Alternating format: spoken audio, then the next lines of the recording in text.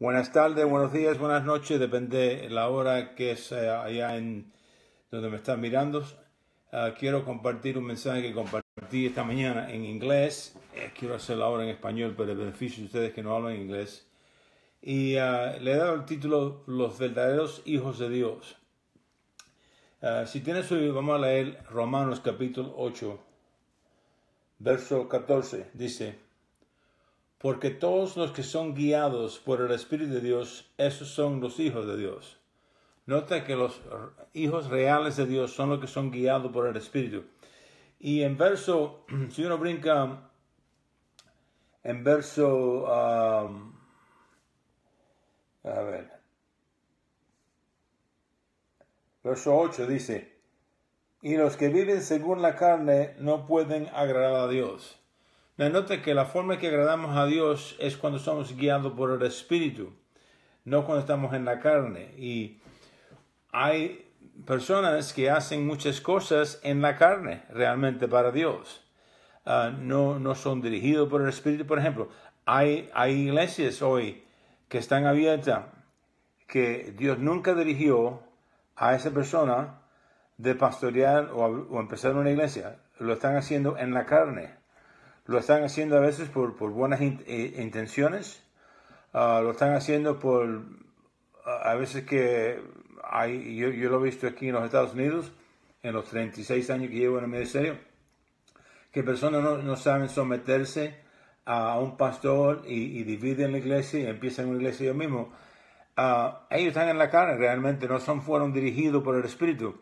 Y cuando uno es dirigido por el Espíritu a hacer algo, eh, permanece fruto. Amén. El fruto permanece. Uh, y eso es una de las formas que sabemos que no estamos en la carne. Amén. Y realmente todo lo que hacemos en la carne no vale nada porque va a ser quemado. Nuestras obras que son en la carne van a ser quemadas. La única obra que, que, que, que, vale es la que hacemos por la dirección del Espíritu Santo. Esa es la que vamos a tener recompensa amén, cuando obedecemos las cosas que Dios nos pone en el corazón a hacer. Por ejemplo, hay, hay personas que me han dicho, ¿por qué no, no, no empieza una, una, iglesia otra vez? Hasta me han profetizado esas cosas. Y yo he dicho, no, yo no voy a empezar una iglesia por, por, por, por necesidad económica, apoyo del ministerio, porque cuando, o sea, cuando, cuando, yo pastoreaba, yo tenía el apoyo de un, una congregación y podía hacer muchas otras cosas porque tenía el apoyo financieramente, espiritualmente. Ahora, como una persona que viaja amén, a, diferentes lugares predicar el Evangelio, no tengo es, esa base de, de, apoyo y a veces que uno tiene que creer a Dios uh, por cosas y, hay, hay tiempos difíciles económicamente, pero, pero yo no voy a, empezar una iglesia uh, por el motivo de, de, tener personas que me apoyen financieramente, eso es una locura. Eso no agrada a Dios y, y, realmente fuera un mal motivo. Así que queremos ser dirigidos por el Espíritu de Dios. Y en Romanos 8:14 dice, por, todo, por todos los que son guiados o dirigidos por el Espíritu de Dios son los hijos de Dios. Realmente eso es lo que el Espíritu no vino a hacer en nuestra vida, una de las cosas. En Juan 16:13 dice esto. Juan 16:13 dice, por cuanto, por cuanto venga el Espíritu de Dios, uh, pero, pero cuando venga el Espíritu de verdad, Él os guiará a toda la verdad Nota que el Espíritu ha venido a guiar nuestra vida. Es una de las funciones en nuestra vida. ¿Cómo es, que nos guías? Bueno, principalmente los guías uh, por la, el testimonio del Espíritu. Nota lo que dice otra vez Romano capítulo 8. El testimonio del Espíritu. En Romano capítulo 8, verso 14 dice, porque todos los que son guiados por el Espíritu de Dios, esos son los hijos de Dios.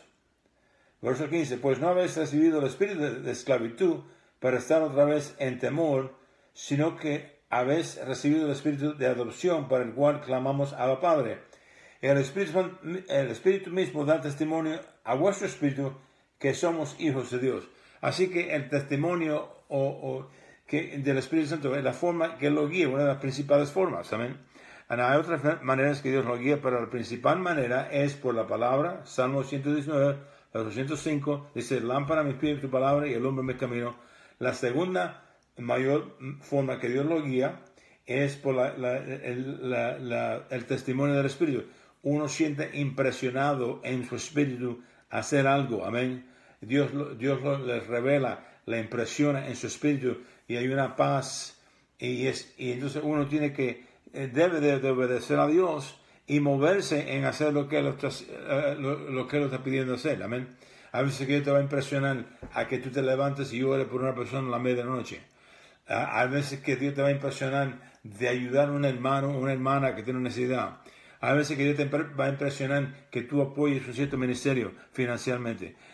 Dios te va a dirigir en hacer diferentes cosas. Él te puede impresionar de ir a, pagar la renta a, un hermano que está pasando por dificultades. O te va a impresionar a lo mejor que vayas a la tienda y le compres una bolsa de comida a una persona que a veces no, son ni creyentes, a lo mejor son desde de, el mundo, de impíos. Así que tenemos que ser dirigidos por el Espíritu en las cosas que hacemos y cuando Dios nos dice, esto es muy muy importante, Dios, yo sentí esta mañana que tenía que impresionar esto en la mente de personas, Dios quiere que le, respondemos a Él enseguida, amén.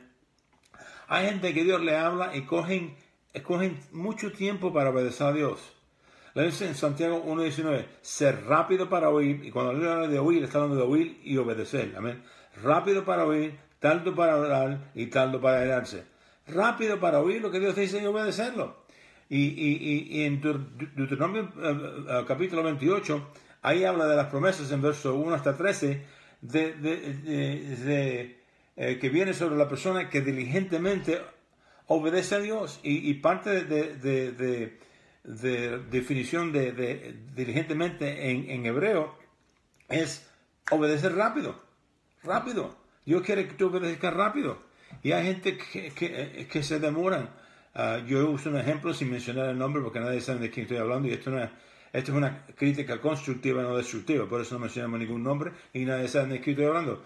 Pero unos años atrás yo recibí una, una carta con un cheque para el ministerio uh, de una uh, persona que asistía a mi iglesia años atrás cuando yo pastoreaba y, y, y me dice, y yo no había tenido contacto por varios años con esa persona y, no sabía realmente, creo que no, ni, sabía dónde estaba viendo en ese tiempo.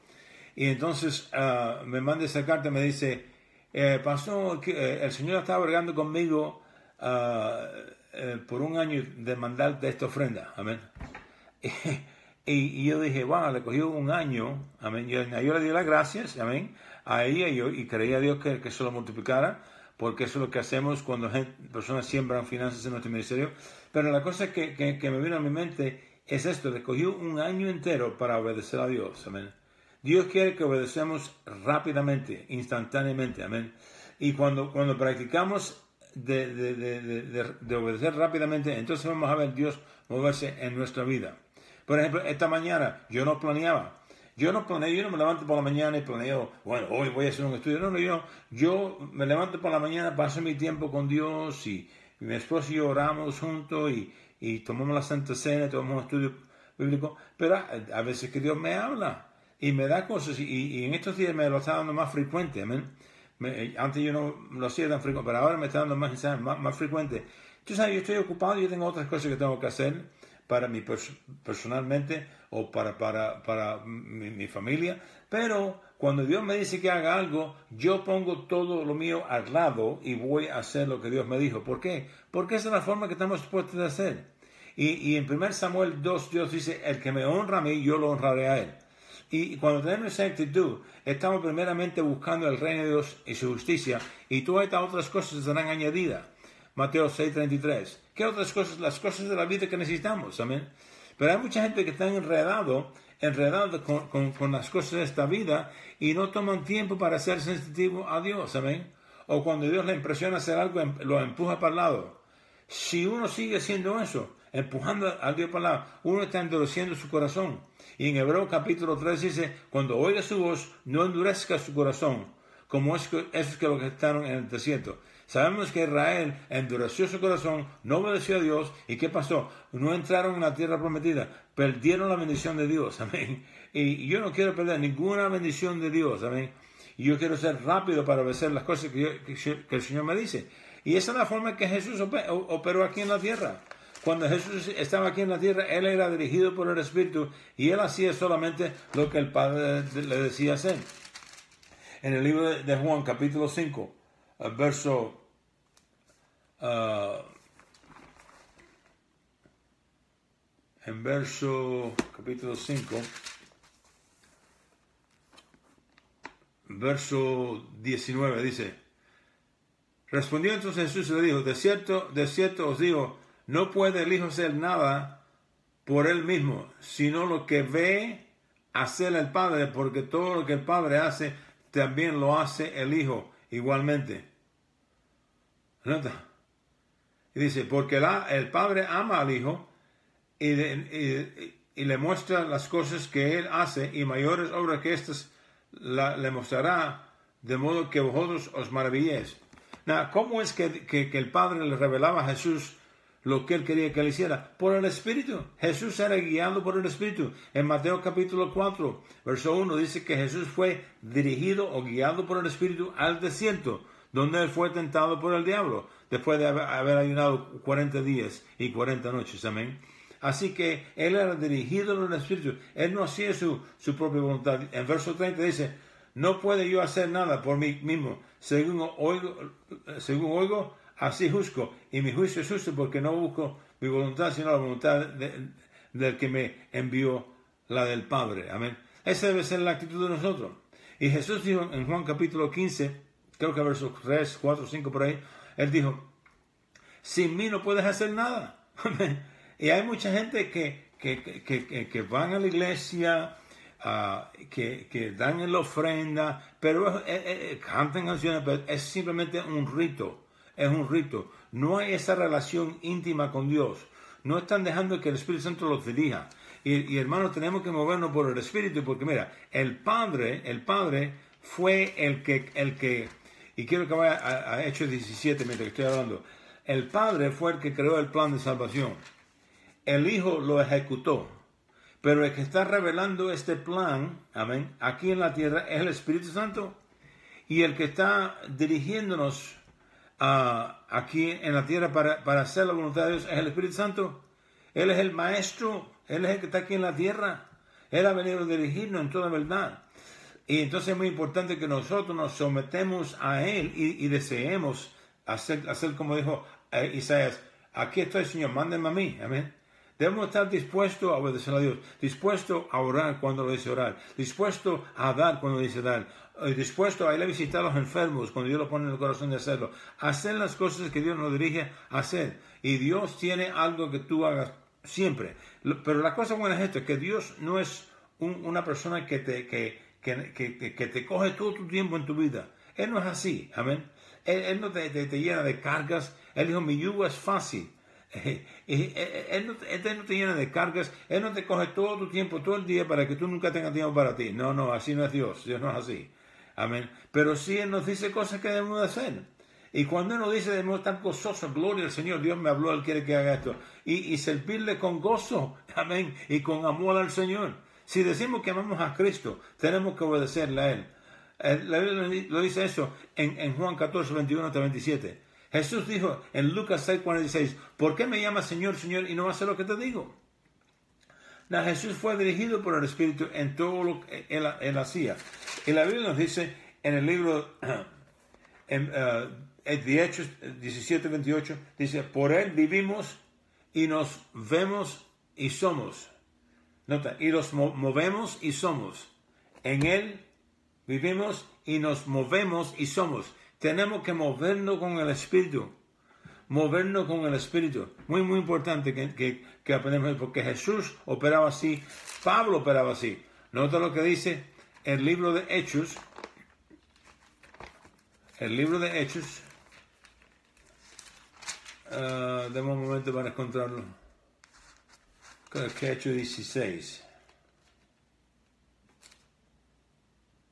Ok, empezando por verso 6, dice, y él atravesando Frigia y la provincia de Galacia, le fue prohibido por el Espíritu Santo hablar la palabra en Asia. Nota que él era dirigido por el Espíritu y el Espíritu le dijo, no habla la palabra en Asia. ¿Por qué? Porque si tú lees las epístolas de, Juan y el libro de Apocalipsis, particularmente el primer capítulo eh, del libro Apocalipsis, tú vas a ver que, que Juan fue llamado a esa área, a Asia, amén. Y entonces dice, y cuando llegaba a Misia, intentaron ir a Bitinia por el Espíritu, no lo permitió. ¿Por qué? Porque si tú lees 1 Pedro y 2 Pedro capítulo 1, tú vas a ver que Pedro fue llamado a esa área. Amén. Y nota que Pablo era dirigido por el Espíritu y cuando Dios le dijo no, él no lo hacía. Y él siguió buscando al Señor y, dice que, uh, verso 8, y pasando junto a mí se descendieron a Troas y se le mostró a Pablo una visión de noche. Un varón macedonio estaba en pies rogándole y diciendo, pasa a Macedonia y ayúdanos. Cuando vio la visión, enseguida procuramos partir para Macedonia, donde por cierto que Dios nos llamaba para que les anunciáramos el Evangelio. Amén. Nota que él siguió el Espíritu de, Dios y Dios le dijo, no, no, en Asia no predique, no, en, en Panfilia no predique. Pero después Dios, por una visión, le reveló donde él quería que fuera, porque Pablo era dirigido por el Espíritu. hermanos, aparte de Cristo, en el Nuevo Testamento, Pablo es el, hombre que ha hecho ah, más ah, para el Evangelio. Tuvo la, revelación de la iglesia. Escribió casi dos, ah, dos terceras partes del Nuevo Testamento. Amén. Now, vamos a ver el, ministerio de Jesús. En Juan capítulo 11, Jesús era dirigido por el Espíritu. Ya vimos en Mateo capítulo 4 cómo él fue dirigido hacia donde fue tentado por el, por el diablo, fue dirigido al desierto. En, en Juan capítulo 11 dice, verso 1, estaba entonces enfermo uno llamado Lázaro de Betania, la aldea de María y de, y de Marta su hermana. María cuya hermana Lázaro, eh, María cuyo hermano Lázaro estaba enfermo, fue la que ungió al Señor con perfume y, él, y enjugó los pies con su cabello. Now, ¿qué, qué, qué, cosa más grande hizo en demostrar su amor? Que ella cogió una botella de perfume que, que dicen eh, eh, eh, personas que, que estudian la, la, Biblia, las costumbres, y que dicen que es, e, ese perfume valía uh, igual a un, un, salario de un año. Y ella cogió ese perfume y, lo puso en los pies de Jesús y cogió su cabello y, lo, lo, lo, lo, estaba preparando para, para cuando él iba a morir y ser sepultado. Entonces enviaron pues las hermanas para decir a Jesús, Señor, he aquí, el que amas está enfermo. Oyendo Jesús dijo, esta enfermedad no es para las muertes, sino para la gloria de Dios, para que el Hijo de Dios sea glorificado por ella. ¿Por qué? Porque ya el Padre le había enseñado a Jesús lo que él iba a hacer. Amén. Porque Jesús era dirigido por el Espíritu. Y nota que Jesús amaba a Marta, a María y a su hermano. Y dice en el otro verso, amaba Jesús a Marta, a su hermana y a Lázaro. Cuando yo pues es, eh, que estaba enfermo, se quedó dos días más en el lugar donde estaba. Now, cuando, si uno lee verso 5, verso 6, eh, sin, sin, sin tener el Espíritu de Dios dentro de uno y tener revelación, uno dice, ¿Cómo él va a decir que ama a ellos si él tenía poder para sanarlo y mire, se quedó ahí por dos días y dejó que el hombre se muriera? Amén, porque el hombre que no conoce a Cristo no entiende las cosas del Señor porque tiene que ser revelada por el Espíritu. Él se quedó ahí porque Dios lo estaba dirigiendo por el Espíritu y la razón que Dios le, dijo que se quedara ahí es por cuenta que, que, que estaban los judíos con piedras preparados para tirarle piedras y matarlo cuando él fuera a sanar a Lázaro. Amén. Fue el diablo, amén, que, trató de, hacer una trampa para Jesús, enfermó a Lázaro al punto de la muerte y motivó a los judíos religiosos que odiaban, odiaban a Jesús, amén, porque eh, la religión es un espíritu malo que odia a gente justa y, quería matarlo. y, el padre dijo, quédate ahí dos días.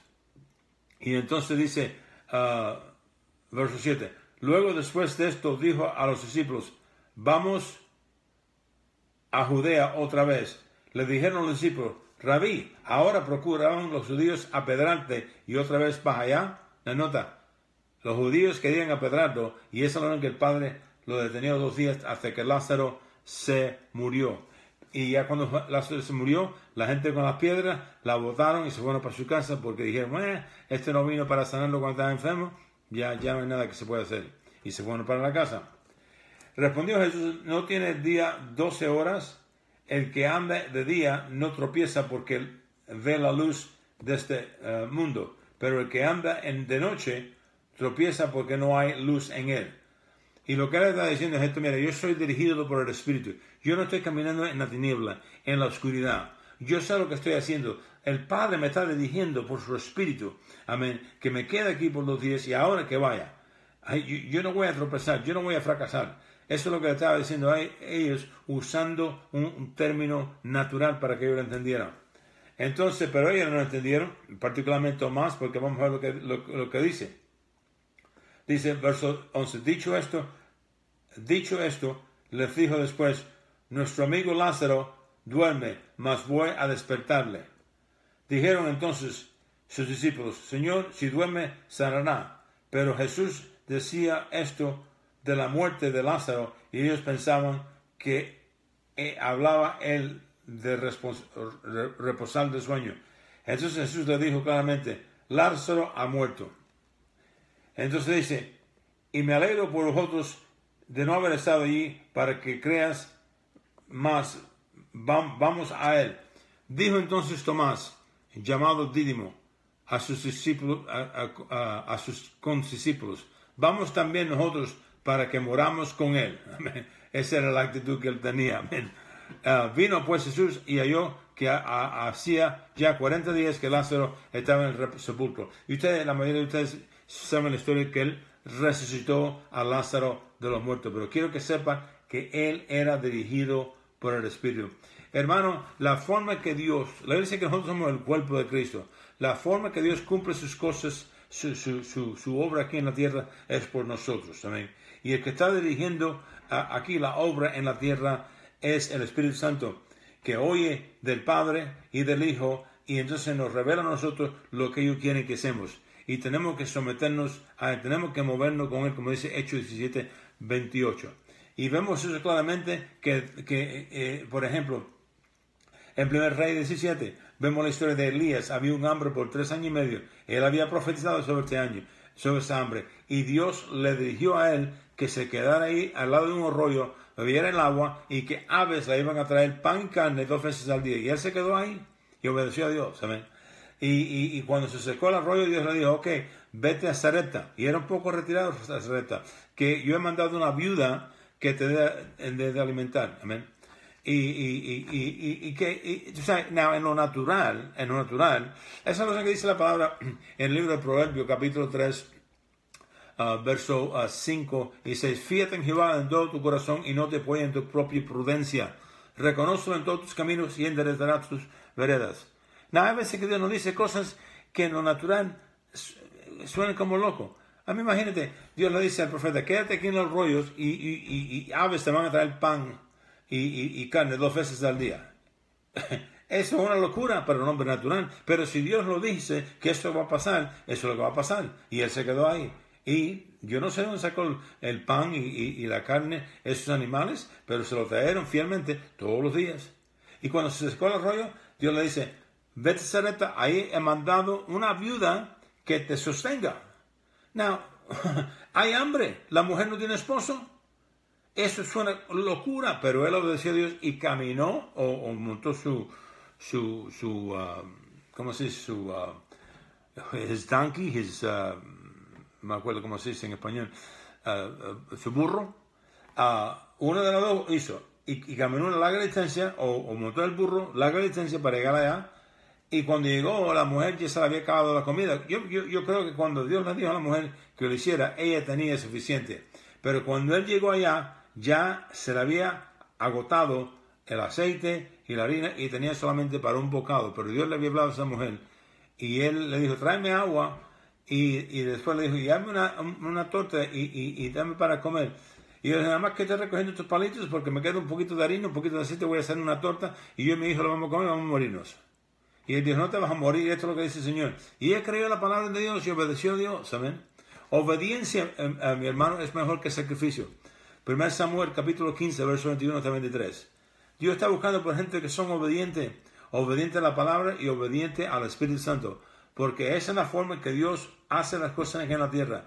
Dios se mueve por personas. Y cuando aprendemos a obedecer a Dios constantemente, vamos a entrar en un lugar supernatural donde Dios va a empezar a no solamente usarnos, pero a hacer cosas por nosotros eh, que, lo va a fascinar, que, va, a traer, va a traer señales y maravillas en nuestra vida. Y eso es lo que Dios está buscando. Bueno, espero que este mensaje te haya ayudado y que usted ha sido bendecido Gracias por ah, juntarme y los comentarios que dejan cuando predicamos el Evangelio lo agradecemos.